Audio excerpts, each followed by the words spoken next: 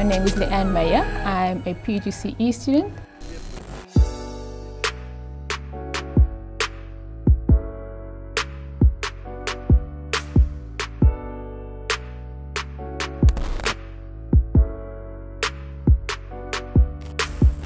My highlight of being at Cornerstone is the fact that I've grown exponentially in becoming more authentic in being myself.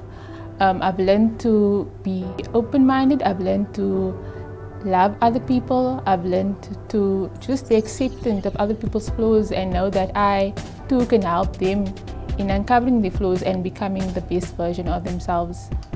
If you're thinking of becoming a student at Cornerstone but have so many questions in terms of how your finances will be paid or the fact that um, you are just not sure if you're able to make it through one year, I'd advise you to still come, still come and find us, still come and speak to our student advisors.